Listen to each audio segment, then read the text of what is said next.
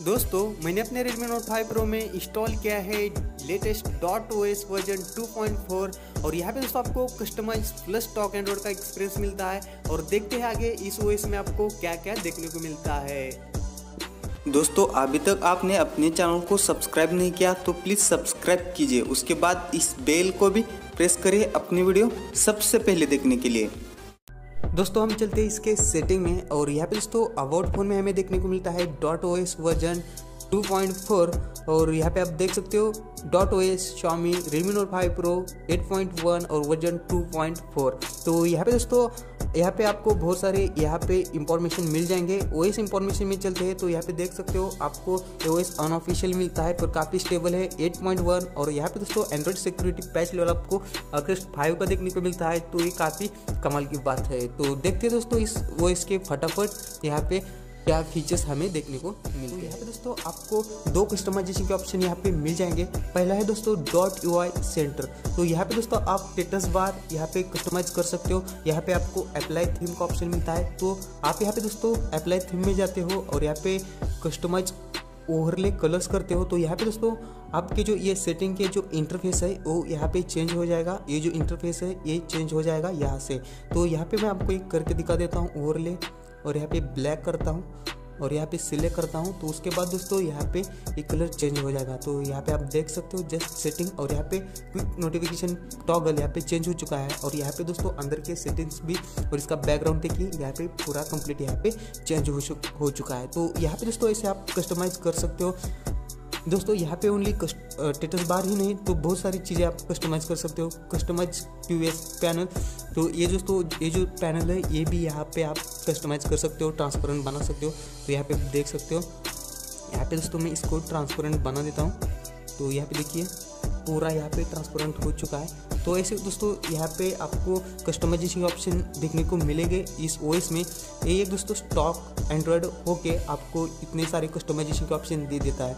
उसके बाद दोस्तों यहाँ पे और भी सारे टिक्स है छोटी छोटी mix accent colours accent colour site वाला, ये भी आप यहाँ पे चेंज कर सकते हो। उसके बाद दोस्तों सेकंड ऑप्शन है यहाँ डॉट एक्स्ट्रा तो यहाँ पे दोस्तों आपको बहुत सारी कस्टमाइजेशन के ऑप्शन मिलेंगे।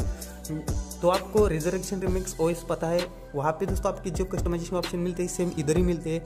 टेटस बार टेटस बार में दोस्तों आप बैटरी की आइकन्स यहाँ पे चेंज कर सकते हो सर्कुलर डॉट यहाँ पे जो आपको पसंद आता है, वही चेंज कर सकते हो। यहाँ पे बहुत सारे ऑप्शन मिलते हैं। तो यहाँ पे दोस्तों मैं फटाफट ऊपर से बता देता हूँ कि एक्सप्लेन करूँगा तो ये वीडियो बहुत लंबा बन जाएगा।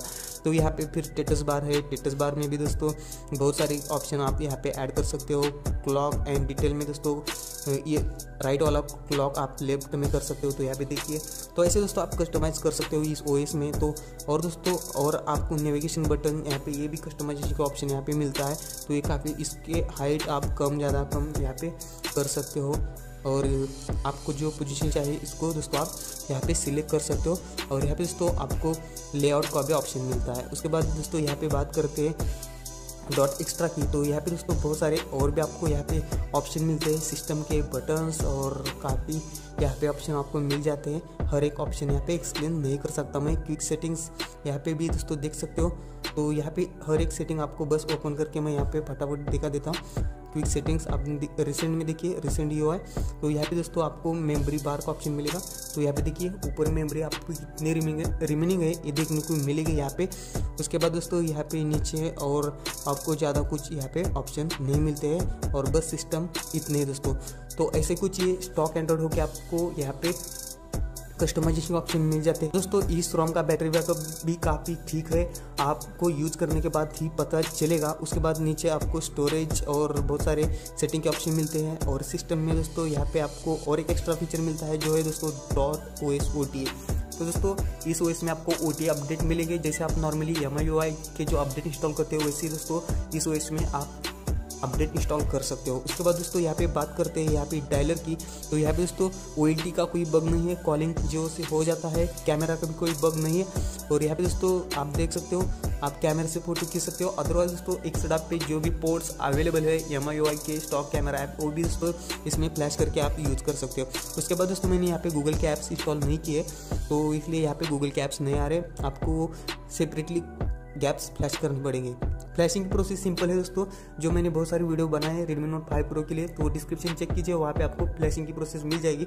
और काफ़ी ब्यूटीफुल रॉम है, आप इसे यूज़ कर सकते हो। और यहाँ पे दोस्तों मैं रेडमी नोट फाइव प्रो के लिए बहुत सारी वीडियोज़ बनाने वाला हूँ तो अपने चैनल को सब्सक्राइब करके ज़रूर रखना। थैंक्स फॉर वॉचिंग मिलते हैं नेक्स्ट वीडियो में।